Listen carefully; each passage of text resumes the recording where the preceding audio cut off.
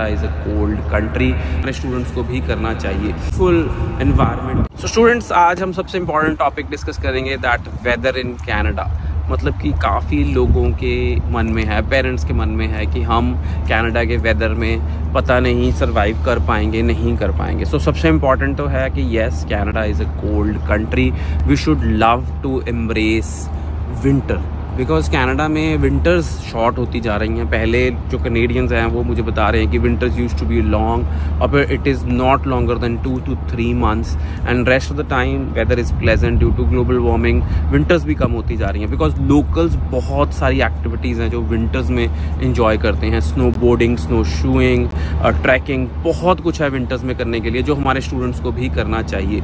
आप देख सकते हैं हम सितंबर में खड़े हैं। There are more activities like boating fishing trekking and it's a a beautiful in in right right it is end of of and ठंड नहीं है बहुत ही बढ़िया वेदर है and student this is like summers to me and pleasant summers and जब आप और छोटे कंट्री में छोटे लोकेशन पे चले जाएँगे तो और बढ़िया वेदर हो जाएगा.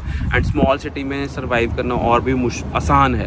So right now we are in Toronto हमको कोई भी रश नहीं नज़र आ रहा है. आप देख सकते हैं, जैसे कि हमने पिछले वीडियो में भी डिस्कस किया था कि लोग कहते हैं कि बहुत रश है and this is downtown Toronto मुझे कोई बहुत ज़्यादा रश नहीं नज़र आ रहा है। स्टूडेंट्स विंटर्स के लिए यहाँ पे बहुत कुछ है जैसे jacket snow shoes and everything is available in Canada so that आपको कोई भी प्रॉब्लम नहीं आए। सो so, आप प्रिपेयर होके आएँ एंड सोच के आएँ कि आप विंटर कोल्ड कंट्री में जा रहे हैं एंड विंटर से कोई प्रॉब्लम नहीं। होगी अगर आपको स्टूडेंट वीज़ा अप्लाई करना है या कोई और क्वेरी है पी आर टूरिस्ट वीज़ा की तो लैंडमार्क इमिग्रेशन को कॉन्टैक्ट कर सकते हैं। Nine zero four one three nine zero four one